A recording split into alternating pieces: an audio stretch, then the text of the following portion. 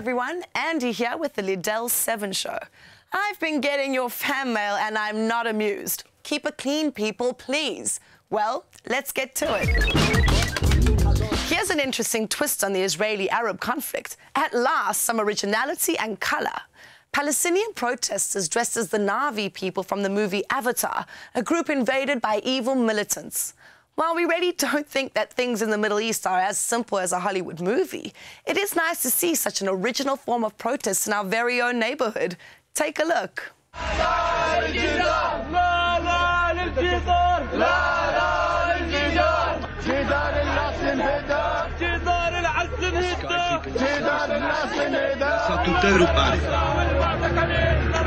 That they can take whatever they want.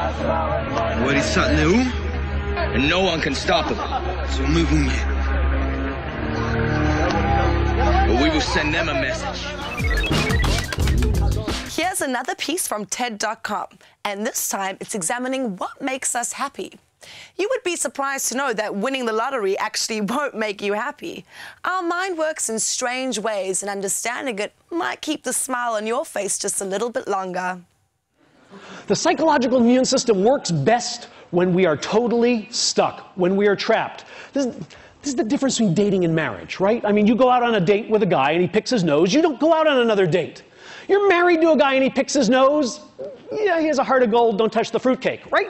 You find a way to be happy with what's happened. If you have Olympic dreams but don't have the time to fulfill them, you can always Photoshop your way into downhill skiing.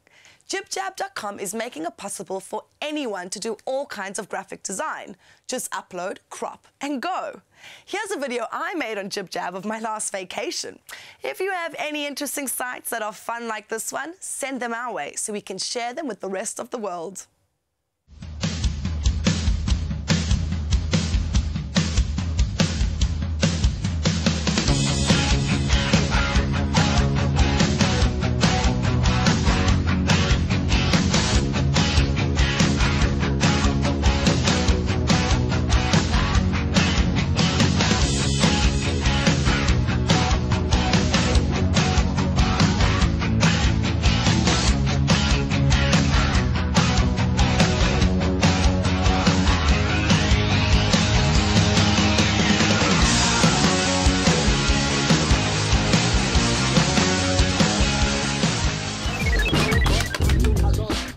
Considering the success of the vagina monologues, it's no surprise that people are lining up to see Circumcise Me. In this off-Broadway show, Yisrael Campbell pokes fun at all things Jewish. Some think his jokes go too far, but why doubt the sincerity of a man who's had to get circumcised three times? And isn't poking fun at ourselves part of our Jewish tradition? Here's a peek at the hit show. People always say, How Catholic were you? Catholic enough to know I was going to hell.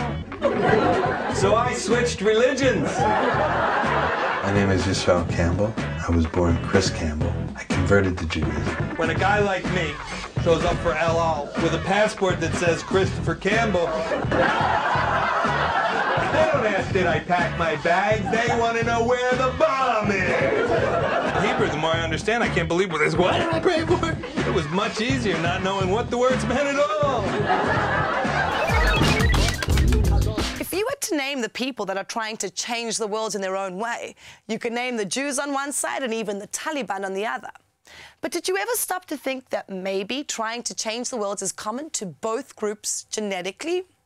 The Technion University in Haifa is launching a new project to see if there are any family connections between the Taliban and Israelis. Read more in Jerusalem Post news editor Amir Mizroch's provocative blog, Forecast Ties.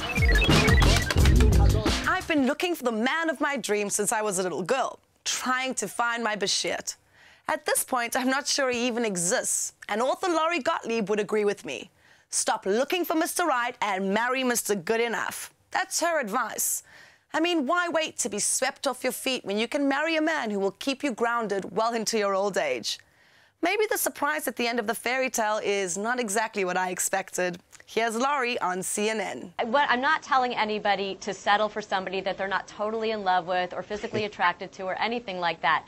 The book is based on a survey where men and women were asked if they got 80% of everything they want in their ideal mate, would they be happy with that? And women said, no, that's settling. And men said, 80%, I'd be thrilled, that's a catch. And so 80% you know, to the women you surveyed is settling? that's settling because you know the question is what actually makes us happy in long-term romantic love Can we really disconnect the Israeli brand from the conflict? And what does it mean if hundreds of thousands of Jews start tweeting about Israel?